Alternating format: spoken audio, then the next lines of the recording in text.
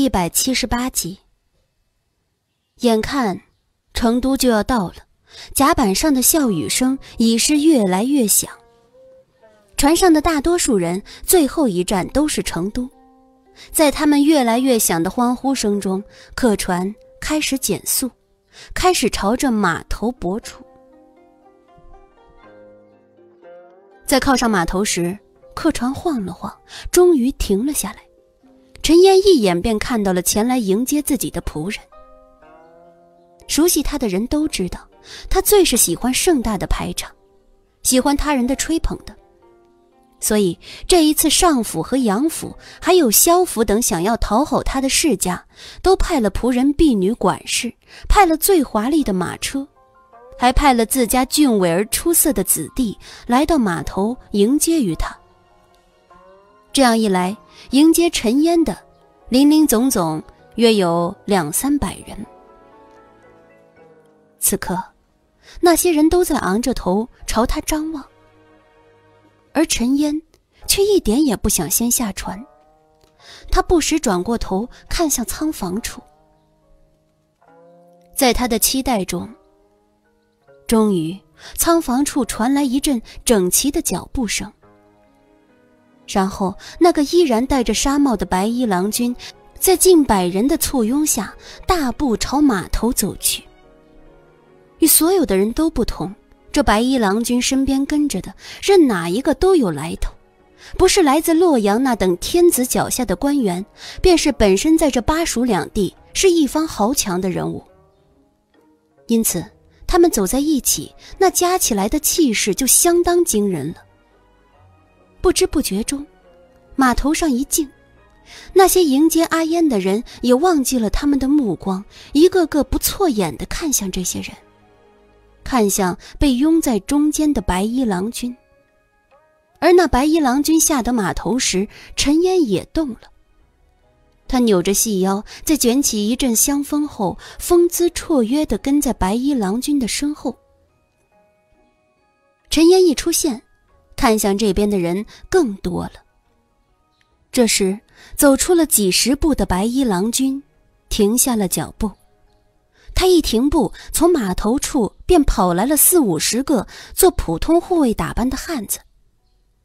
他们大步而来，走到白衣郎君面前时，齐刷刷向他一拜，也不等他吩咐，他们站起后便自发的退后，一直退到众人后面。这些汉子才停下脚步，素手而立，低着头做护卫状。这些汉子虽然衣着普通，脸上的笑容也小心着，可那些杨上几家的世家人还是呆住了。只过了好一会儿，一个华服青年才哑声问道：“那白衣人是谁啊？”一个最是见多识广的管事摇了摇头，说道。我不知道那白衣人是谁，四郎，我只知道这些过来的像是普通护卫的汉子。我所识得的七八个，都是这成都地下无人敢惹的煞星。另一个青年倒抽了一口气，忍不住说道：“怪不得这些人有点眼熟，这白衣人是何方神圣，居然可以驱使他们。”你看，丑九站得那么后面，还一脸与有容焉的模样。这白衣人究竟是何方神圣啊？没有人能回答他的话。倒是那个四郎在倒吸几口气后，转过头，朝着一辆马车中的人说道：“阿提，要是能结识这人就好了。那陈烟是什么人？他让你也回娘家，分明就是为了折辱你来的。”他是断断不会帮忙的。听说这白衣郎君是洛阳来的世家子，如果能得到他帮忙，事情或许会有转机。他说到这里，自失的一笑，伸出手，疲惫的揉搓着脸。上四郎苦涩的说道：“ 我真是病急乱投医了。这样的人物，现在的上府怎么攀得上？”他刚刚说到这里，便听到马车中的妹妹颤声道：“四哥，你快看他的脸，你看他是不是有点面熟？上提显然太过激动，急急把车帘一掀后，消瘦了许多的脸上已是泪水横溢。他一瞬也不瞬地看着那个信手取下了纱帽、俊美至极，却也冷傲至极的白衣郎君，颤声道：“四哥，你看看他的脸，是不是有点熟悉？”那四哥还是一愣一愣，不太明白时，上提身边的那个婢女已欢喜的无以复加的叫道：“这位郎君与卢言有点相似啊！天下哪有这么多相似的人？这人肯定与卢氏阿莹有关系。姑子姑子，我们去求他吧。如果他能帮忙，也不用被陈烟那样子羞辱了。”在上提等人低声议论时。一侧的陈烟，那只看着卢莹，便在幻想着与他亲近，进而脸上春潮弥漫的脸上。这时对上心心念念的白衣郎君的面容时，若一块巨石击中。直到卢莹在众人的簇拥下去得远了，还无法清醒过来。卢莹的住处，地头蛇们早就安排好了。只等他入住。住下后不久，成都的官员们也知道了他前来的目的。听说他是洛阳来的大官，此来的目的也只有搜集一下市集中各日用物品的价格。一些心中有鬼，以为是钦差大臣驾临的官员们，同时松了一口气。这一放松，他们都对卢莹友好起来。在看到他仆从如云，走到哪里都前呼后扬时，更是觉得这人就是一个来成都玩耍的世家子。虽然那官职很大，又是实权部门的，可什么市级监察司，毕竟是没有听过的玩意儿，便也不怎么放在心上了。在与成都的官员中打了几天交道后，这一天下午，卢莹刚刚坐下，便有人禀道。上府的四郎和五上士求见郎君，见是不见？终于找来了。卢莹把他搜集到的有关于上提等人的资料收起，淡淡说道：“让他们进来吧。”是。不一会儿，一阵脚步声传来，上提和他四哥的声音恭敬的传来：“见过卢文郎君。”卢莹嗯了一声，抬起头来。如此近距离的对上他这张脸，上提突然激动了，他眼眶一红，整个人像是傻了一样，呆呆的看着卢莹，眼睛也不眨一下。那泪水差点便这样滑下了脸颊。一侧的上四郎看得自家妹妹一见到人家便如此失态，不由害了一跳。他白着脸，重重把上提一扯，便想跪下认罪。就在这时，卢莹低而清冷的声音传来：“武上士，看来有话要对我说呀。”说到这里后，他看向急得满头大汗的上四郎，淡淡说道：“郎君，先去门口等一等，如何？”上四郎一怔。转眼，他恭敬的应了声“是”，警告的瞪了一眼上提后，他这才心事沉沉的退了下去。上四郎一退，卢莹便向榻后扬了扬，他垂着眸，抚摸着一块玉做的指阵，口中则淡淡的说道：“你叫上提吧，在此番来成都之前，我二妹卢氏阿莹。”跟我提起过你。他这话一出，上提腾的抬头看向卢莹，只是看着看着，他的唇动了动，目光中隐隐带上了几分狐疑。看来这个好友是有点认出他了。不过以卢莹现在的面目，他也不怕被人怀疑。何况他所编造的那身世，也让骡子有意无意的外泄了一点。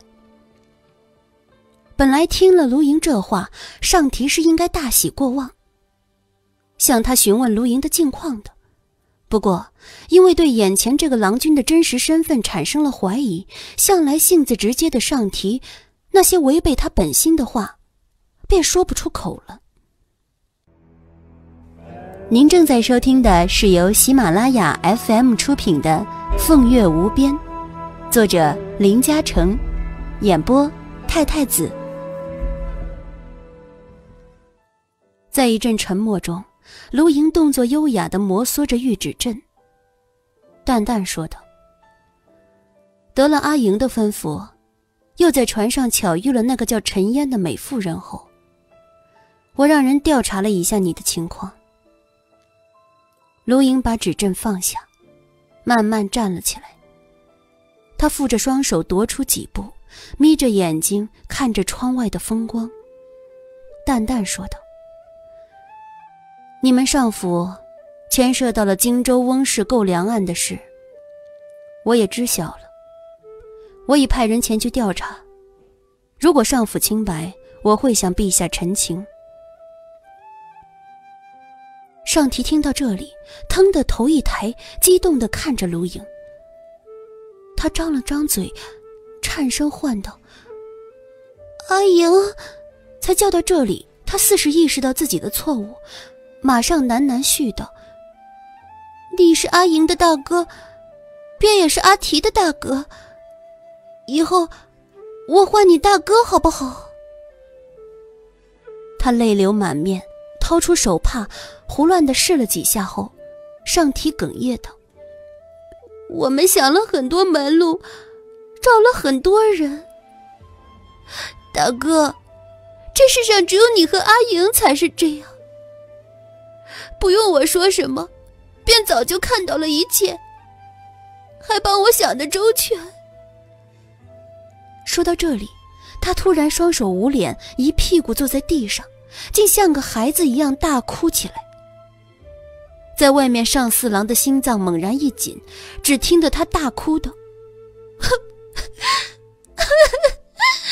大哥，我好想阿莹，我好想好想阿莹啊！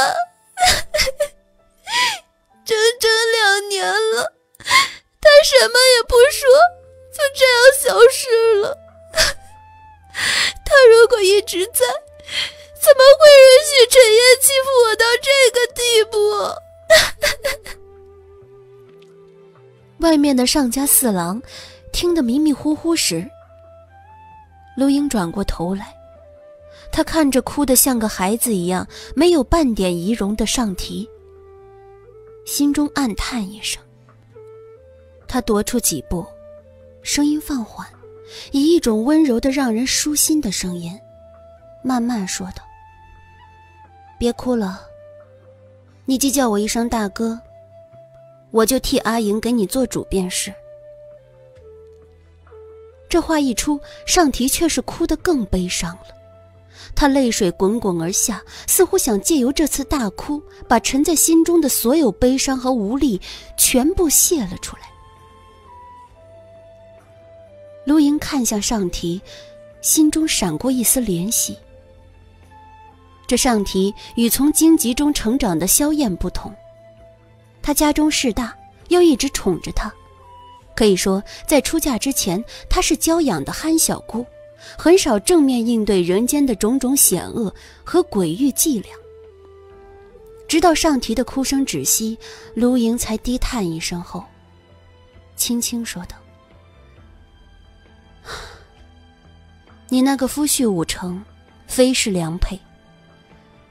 这次你家族被荆州翁氏案牵连，实际上与他有关。上提似是被他的话呆住了，坐在地上一动不动了。卢莹看向他，慢慢问道：“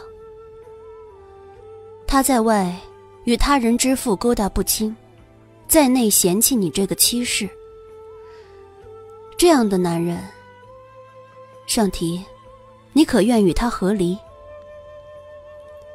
和离。上提重复了两遍，他抬起头，轻轻说道：“大哥，你误会五郎了。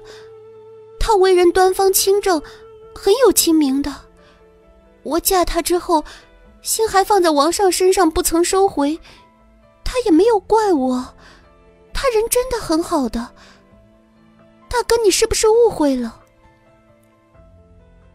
卢莹转头看向他。他一直知道，一个人认定了另一个人，别人说的多了，他不但不信，反而会对说是的人生出嫌隙。当下，卢莹点了点头，淡淡说道：“嗯，或许真是我误会了，也说不定。”暗叹一声，他命令道：“让你四哥久等了不好，上提，你先出去。”好的，大哥。上提站了起来，他转眼看着卢莹，想到自家出了事后四处奔走却徒劳无功的痛苦，想到这人一来便站出来要替自己解去这等大难，不由眼中泪水又开始汪洋而下。连忙拭去泪水，上提眷恋的说道：“大哥，你真与阿莹一样对我好。”陆莹没有回答，只是淡淡一笑。上提离开不久，陆莹便对骡子命令道：“江州一地，可有什么人才出众、擅长运男女之道、混迹青楼的浪荡子？”骡子虽是不明白他的意思，还是恭敬的应道：“有的，有的，好几个呢。尽快把他们都叫过来，我有用。”是。在骡子奉命紧锣密鼓的去安排时，卢莹则带着那些下属开始朝成都的各大市集中跑。远远望着卢莹出出入入的马车，停靠在街道角落处的一辆马车中，传来一个女子迷柔动听的声音：“她也叫卢文呢。四哥，这几天你可有打听清楚，看明白这个人了？”他长得与卢氏阿莹相似处不多，可是四哥，不知怎么的，自从见到他露出面容后，我这心里就奇奇怪怪的，好似这个卢文与那卢莹是一个人似的。我也知道这不可能，卢文在洛阳这么大的名头，他怎么可能是一个女子假扮的呢？这时，陈烟的声音不再有半点烟视媚行的味道，反而显得十分的冷静精明。朝着卢莹的马车又盯了一会儿后，他喃喃说道：“四哥，你不知道的，他还没有露出面容前，我就中意他了。他可是我生平第一次那么渴望能得到的男人啊！”四哥，你一定要派人接近他。这男人与女人很好区别的，只要让他到青楼里坐一坐，或者送个美人到他怀中嬉戏一会儿，就什么都知道了。四哥，我家那老头一时片刻还来不了成都，我也不好宴请他。这事你得帮我。只要他真是个男子。我一定会让他以后永永远远都只属于我一人。陈烟一口气说到这里后，过了半晌，陈述的声音才传来：“这人来头太大，身边的能人太多，以我现在的身份，只怕约不到他。”在陈烟不免的娇哼声中。陈树连忙低声下气的说道：“阿言，你别生气，四哥会想办法的。”那就好。吐完这三个字后，痴痴望着卢莹的陈烟，想到她那俊美冷峭的面孔，想到她那修长挺拔的身形，想到他一呼百诺的威风，想到他那修长贵气的手，突然的陈烟春潮泛滥了。马车中只听得他轻喘出声，迷软的唤道：“阿昌，上提那夫婿武成，不是也到成都来了吗？你马上让人通知他来找我。